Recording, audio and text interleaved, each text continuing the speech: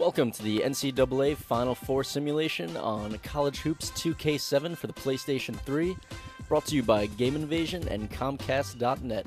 I'm Scott McGill. And I'm Lee Rusikoff, and nothing gets the mascots more excited than a computer simulation of the Final Four. Game one pits the Georgetown Hoyas versus the Buckeyes of Ohio State in a battle of the big men. And those big men obviously are Roy Hibbert and Greg Oden. My heart here is with the Buckeyes and Oden, but my head's telling me that Georgetown's defense, along with Big East Player of the Year, Jeff Green, is going to be too much for Ohio State to handle. So let's get right to the game. Georgetown took their first lead on a three by number 34. Yeah, I'd like Georgetown's chances a lot more in this game if they actually had a player wearing the number 34. Close game winding down the first half. Oden with a huge rebound and put back to tie it up. With the way Georgetown plays perimeter defense, if Ohio State has any chance of winning this game, Greg Oden's going to have to dominate the paint. And early on in the second half, Oden with a huge rebound to start a fast break. Is that the Georgia Dome or A1A? Ron Lewis with a heck of a drive to the hoop. And the likeness of Greg Oden is pumped. You know, Scott, Hibbert's listed at 7 2, but with the mini afro, he's at least 7 3. And Hibbert gave Oden fits all day, as did Jeff Green, who drops in two of his game high 24. Jeff Green, the least talked about top five pick in the country. This guy can play ball. With 53 seconds left, the Buckeyes pull within three.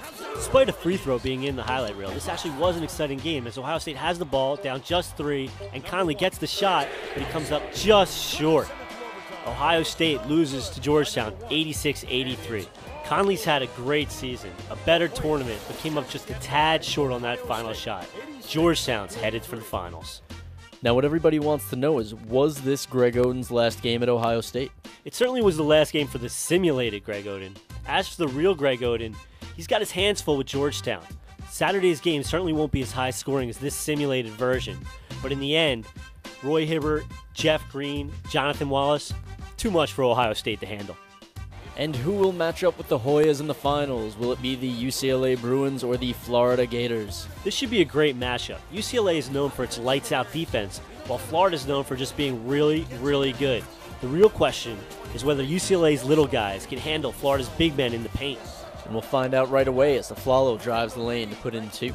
Sweet sassy Molassy. Aaron Afflalo might be a little guy, but he's got a big heart as he takes the ball right to Horford to give UCLA the lead. And here's Westbrook draining a three to put UCLA up towards the end of the first half, forcing the Gators to take a timeout. Get a TO, baby. I think Westbrook hit that from Decatur. That timeout, just what the Gators needed. Dan Werner drains a three to give Florida the lead. The one thing you know when you play Florida, you can't stop Dan Werner. You can only hope to contain him. UCLA started the second half off hot as Afflalo puts the Bruins up two. But even Afflalo can't hold back the Florida tidal wave, as only Noah has an ark. That's as close as UCLA would get, as it was all Florida the rest of the game. Ooh, that was hot. Walter Hodge with a little backdoor action. Florida's inside game was just too much for UCLA. Chris Richard, boom goes the dynamite. Florida runs out the clock in their rout of the Bruins. Lee, can we really expect the Gators to score 107 on the Bruins? Look, I give College Hoops 2K7 all the props in the world. Great graphics, sick game, but if anyone scores 107 points on Ben Howland and UCLA's defense, I will walk home from the Georgia Dome. And we are just moments away from crowning a simulated national champion. Will it be the Georgetown Hoyas or the Florida Gators in a repeat? I can feel the excitement in the air. Scott, look at my arm. Simulated goosebumps.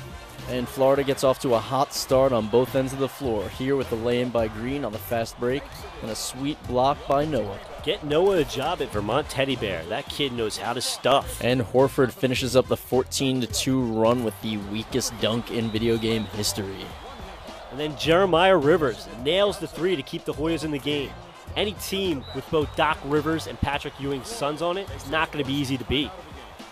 Corey Brewer gets the Gators off to a great start in the second half. Brewer must love himself some donuts because that kid is dunking. Down by 15, the Hoyas move to the outside game. Number 34 knocks down a couple of threes to bring the Hoyas back within six. I'll say it again, Scott. I'd love the Hoyas' chances a lot more in this game if they actually had a number 34 on the roster. Late in the game, Lee Humphrey hits some big shots from the perimeter. Leaving Lee Humphrey open is like digging your own grave, and that's exactly what these simulated Hoyas did. That makes the Florida Gators your 2007 virtual national champions. You know what I love about college basketball? The excitement on the players' faces after winning it all. I'm virtually excited myself.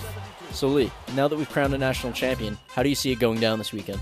Aside from the high scoring, I see it playing out pretty much as we saw here today. Florida's clearly the best team, and I think they'll play Georgetown in the finals. So I think this is pretty accurate. Well, that wraps it up for us. For Game Invasion and Comcast.net, I'm Scott McGill. And I'm Lee Russakoff. See you on game day.